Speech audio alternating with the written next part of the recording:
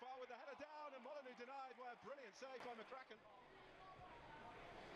Top here, Doncaster, they're well worth the lead. Farr makes his way into the box again. And McCracken is swinging corner. Farr with the header away.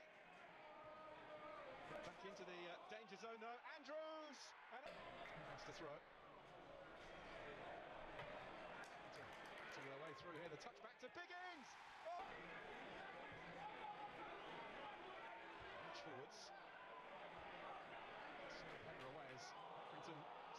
Equaliser here.